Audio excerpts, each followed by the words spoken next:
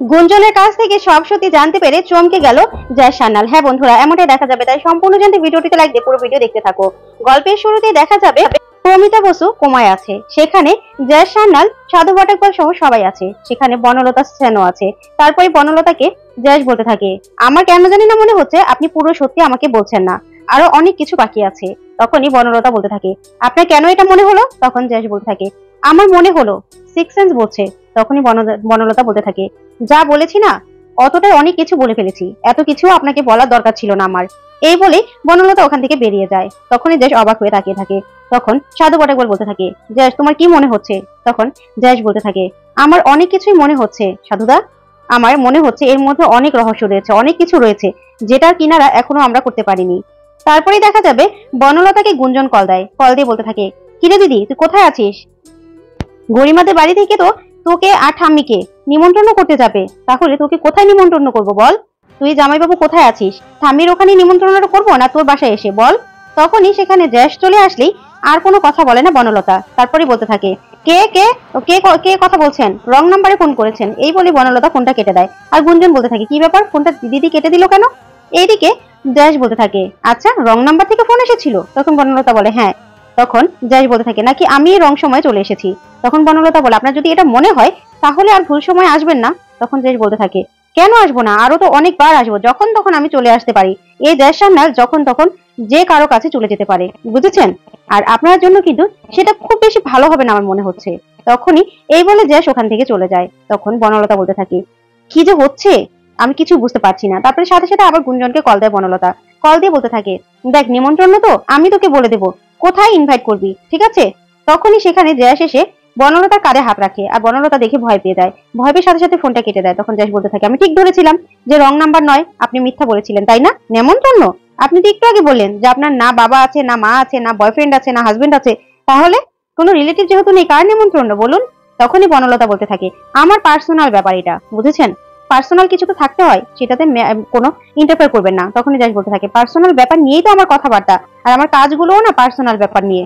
তাহলে বলুন তখন বনলতা না বলে দেশ বলতে থাকে। দেখুন, আমার এখনও অনেক কিছু জানা বাকি আছে। তাই সাবধানে থাকবেন। এই বলে যা ওখান থেকে চলে যায়। তখন বনলতা মনে মনে রাখতে থাকে আর বলতে থাকে, ইস, আমার সাথে মহিলা কেন যে এরকম ভাবে কথা বলে? ভালো লাগছে না। অন্যদিকে দেখা যাবে গরিমার আইবুড়ো ভাতের অনুষ্ঠান। তখন সবাই মিলে নাচে গানে মেতে ওঠে। আর সেখানে জগদ্ধাত্রীও থাকে, স্বয়ংভূও থাকে। সবাই মিলে খুব আনন্দ, হইচই করতে থাকে। তারপরে গরিমাকে জিজ্ঞাসা করতে থাকে কৌশিকের মা, যে, কি রে গরিমা? ওই বাড়িতে তো ইনভাইট করতে হবে নিমন্ত্রণ করতে যেতে হবে। তা গুঞ্জনের ঠাম্মির নাম কি? কার নাম লিখব? কার্ডে তখনই গরিমা বলতে থাকে। আসলে ওনাকে তো ঠাম্মি বলে বয়স জ্যেষ্ঠ তো, তাই ওনার নামটা না কখনো জিজ্ঞাসা করা হয়নি। ওনার নাম তো আমি জানি না।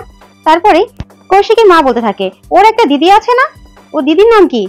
তখন প্রীতি বলতে থাকে, আহ, কাকিমণি, ওর ঠাম্মি থাকতে বয়োজ্যেষ্ঠের নাম লিখতে হয় কার্ডে তাহলে দিদির নাম লিখলে কি করে হবে? তখনই গরিমা বলতে থাকে, আমি তো জানি না ওনার নাম। তখন কৌশিকী বলতে থাকে ফোন করে জেনে নে না। তারপরে গরিমা ফোন করলে গুঞ্জন ফোন রিসিভ করে না। তখন কৌশিকী বলতে থাকে আচ্ছা মা, তুমি একটা কাজ করো, দুটো কার্ড নাও। একটা ওর দিদির জন্য, একটা ওর ঠাম্মির জন্য। ওর দিদির নামটা কি? তখনই গরিমা বলতে থাকে, আসলে জামাইবাবুর নামটা আমি জানি না, কিন্তু ওর দিদির নাম প্রমিতা বসু। যেটা শুনে জ্যাস আর স্বয়ংব দুজনেই অবাক হয়ে যায়। তখন জগদ্ধাত্রী বলতে থাকে প্রমিতা বসু? তখনই গরিমা বলতে থাকে হ্যাঁ প্রমিতা বসু। তখন জগদ্ধাত্রী বলতে থাকে আচ্ছা বাসা কোথায়? থাকে কোথায়? তখন গরিমা বলতে থাকে, আমি তো জানি না কোথায় থাকে, শুধু নামটুকুই জেনেছিলাম। তারপরে স্বয়ংব আর জগদ্ধাত্রী দুজন নিজেকে সামলে নেয় আর ওইদিকে কৌশিকী দেখে বুঝে ফেলে যে কিছু একটা ব্যাপার তো অবশ্যই আছে। তখনই জগদ্ধাত্রী বলতে থাকে আচ্ছা ওদেরকে নেমন্তন্ন করতে কে যাবে? আমিও যেতে চাই সাথে। তখন মেহেন্দি বলতে থাকে, তুই গিয়ে কি করবি? নেমন্তন্ন করতে যায় তো বয়োজ্যেষ্ঠরা, তুই সেখানে গিয়ে কি করবি? তারপর কৌশিক বলতে থাকে, আহা, এরকম করছ কেন? ও যেতে চায় যাক না, তাতে তোমার কি সমস্যা? তখনই বৈদেহী বলতে থাকে হ্যাঁ ও যেতে চায়, যাক। তখন মেহেন্দি বলে, ও গেলে আমিও যাব। তখন সবাই বলতে থাকে আচ্ছা ঠিক আছে, সবাই মিলে যাব আমরা। তখনই জগদ্ধাত্রী বলে হ্যাঁ তাতে কোনো প্রবলেম নেই তো? সবাই মিলে যাব নেমন্ত্রণ করতে। ওইদিকে কৌশিকী জগদ্ধাত্রীকে বলতে থাকে, কি হয়েছে জগদ্ধাত্রী? আমি ঠিক দেখে বুঝতে পারছি যে নামটা শুনে তুমি চমকে গেছো। কি হয়েছে বলো তো? তখনই জগদ্ধাত্রী বলতে থাকে, বডি, আসলে আপনার ব্রেন শার্প। আসলে প্রমিতা বসু, আপনি শুনেছিলেন না জোড়া খুনের চেষ্টা করা হয়েছিল? ওখানে তার মেয়েটার হাজবেন্ড মারা গেছে। আর ওই মেয়েটার নাম কি জানেন? প্রমিতা বসু। সে এখন কোমায় রয়েছে। সে কি গুঞ্জনের দিদি নাকি? সেটাই তো আমি বুঝতে পারছি না। তখনই কৌশিকী বলতে থাকে, কি বলছো তুমি? তাহলে তো ব্যাপারটা খুব সাংঘাতিক। তখন জগদ্ধাত্রী বলে হ্যাঁ হ্যাঁ বড়দি আমার না একটু বের হতে হবে। এই বলেই প্রমিতা বসুর ওখানে চলে যায় জগদ্ধাত্রী। গিয়ে বলতে থাকে আচ্ছা নন্দিদা উনি যে প্রমিতা বসু, ওনার আইডি কার্ড, আধার কার্ড বা কোনো কিছু আইডেন্টি করার মতো কিছু পেয়েছেন? তখন নন্দিতা বলতে থাকে, না না, জেস, ওরকম কিছু তো আমরা নেইনি। তখন নন্দী বলতে থাকে, কেন জেস তখনই জ্যাস মনে মনে বিড়বিড় করে বলতে থাকে, আমি বুঝতে পারছি না, রুমালি বিড়াল না বিড়ালি রুমাল? নাকি, রুমাল রুমালের মতো আছে, বিড়াল বিড়ালের জায়গায় আছে। কিছু তো একটা গন্ডগোল হচ্ছে। ওকে আসলেই গুঞ্জনের দিদি নাকি অন্য কেউ, সেটা তো আমাকে জানতে হবে। এই বলেই সেখানে সাধু বলে চলে আসে আর এসে বলতে থাকে দেশ তোমার কথা তো ওরা কিছুই বুঝতে পারছে না, কিন্তু কিছু একটা তো গন্ডগোল হচ্ছে, আমি বুঝতে পারছি। তখনই দেশ বলতে থাকে হ্যাঁ সাধুদা, পরে আপনাকে বলব, আমি না একটু ওর ফ্ল্যাটে যাব। আমার ওর আইডেন্টি জানা খুব জরুরি দরকার। তখনই সাধু ফটাকল বলতে থাকে আচ্ছা ঠিক আছে, তাহলে পরে না হয় সবটা জেনে নেব। তখনই জগদ্ধাত্রী পমিতা বসুর একটা ছবি তুলে নিয়ে ওখান থেকে বেরিয়ে যায় নন্দী আর চিরঞ্জিতকে নিয়ে। এইদিকে বনলতা সব দাঁড়িয়ে দাঁড়িয়ে দেখতে থাকে আর মুচকে হাসতে থাকে। তারপরে ফ্ল্যাটে গিয়ে জগদ্ধাত্রী অনেক কিছু খুঁজতে থাকে, কিন্তু কিছুই পায় না। শেষ মুহূর্তে একটা ফাইলের মধ্যে আইডি কার্ড, আধার কার্ড আর পাসপোর্ট পায় পমিতা বসুর। তখন জগদ্ধাত্রী দেখে বুঝতে পারে, এই মহিলাই পমিতা বসু। তখনই গুঞ্জনকে ফোন করে জগদ্ধাত্রী বলতে থাকে গুঞ্জন, তোমাকে আমি একজনের ছবি পাঠাচ্ছি। দেখে বলো তো উনি কে? তুমি চিনো কিনা তখনই গুঞ্জন বলে, ঠিক আছে। তারপরে পমিতা বসুর আইডি কার্ডের ছবি তুলে পাঠালেই গুঞ্জন বলতে থাকে, না না না এটা একে তো আমি চিনি না এটা আমার দিদি নয়। তখনই গুঞ্জন ফোন করে বলতে থাকে, না না, ওনাকে আমি চিনি না, উনি তো আমার দিদি নন। তখনই জ্যাস বলতে থাকে, ও আচ্ছা সরি আসলে আমি ভুল করে ফেলেছি। তোমার সাথে গরিমার বিয়ে হওয়ার কথা, এর মধ্যে তোমাকে ইনভেস্টিগেশনে আমার জড়ানো উচিত হয়নি। তখনই গুঞ্জন বলতে থাকে, কি হয়েছে বলুন তো ইনভেস্টিগেশন মানে? তখনই জগদ্ধাত্রী বলতে থাকে, আসলে জোড়া খুনের কথা বলেছিলাম না? এই মহিলাকে খুন করার চেষ্টা করা হয়েছিল। তখন গুঞ্জন বলতে থাকে, ও আচ্ছা। এই বলে ফোনটা কেটে দেয় গুঞ্জন। আর ওইদিকে জগদ্ধাত্রী সবকিছু খোঁজার পর আইডি কার্ড, পাসপোর্ট এগুলো নিয়ে নেয়। ঠিক তখনই সেখানে গুঞ্জনের ঠাম্মি এসে দাঁড়ায় আর এসে বলতে থাকে, তুমি এসেছ? তখনই জগদ্ধাত্রী বলতে থাকে, আপনি এখানে এসেছেন? খুব ভালো।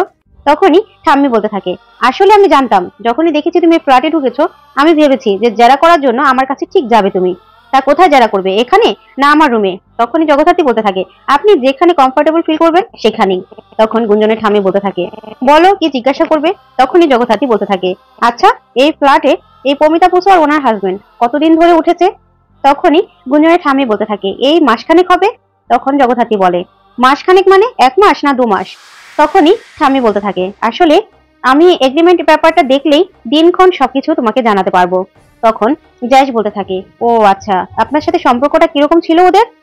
তখন ঠামি বলতে থাকে, যেরকম থাকে একজন বাড়িওয়ালা আর ভাড়াটিয়ার সম্পর্ক? তখন জায়েশ বলতে থাকে আচ্ছা খুব তিক্ততা ছিল, তাই না? তখনই ঠামি বলতে থাকে, তিক্ততা কেন থাকবে? তখন জগদ্ধাত্রী বলতে থাকে, আসলে না, ওরা নাকি খুব ঝগড়াঝাটি করতো। তা কি বিষয় নিয়ে এত ঝগড়াঝাটি করতো? আপনি কি কিছু জানেন?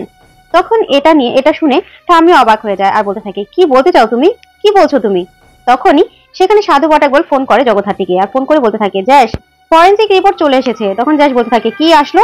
তখনই সাধু বল বলতে থাকে, আসলে দুজনের পাকস্থলিতে বিষ পাওয়া গেছে আর অ্যালকোহলও পাওয়া গেছে। তখন তো একথা শুনে জ্যাস টমকে যায় আর বলতে থাকে, কি বলছেন সাধুদা? তখনই সাধু বল বলতে থাকে হ্যাঁ তার মানে অ্যালকোহলের পরিমাণ কম থাকলেও তার মধ্যে বিষের পরিমাণটা বেশি ছিল, যার কারণে ওরা ওদের মৃত্যু হয়েছে আর এখানে প্রমিতা বসু অসুস্থ হয়ে গেছে। যা শুনে জ্যাস পুরো চমকে গিয়ে স্বামীকে বলতে থাকে আচ্ছা ওরা কি নিয়ে ঝগড়াঝাটি করতো? আপনি কি জানেন কিছু? ওদের ঝগড়ার টপিকটা কি ছিল? তা শুনে থামিয়ে পুরো চমকে যায়। তো বন্ধুরা, আজকের আপডেটটি কেমন লাগল? অবশ্যই কমেন্ট করে জানাতে বলবেন পরবর্তী আপডেট পেতে চ্যানেলটি সাবস্ক্রাইব করবে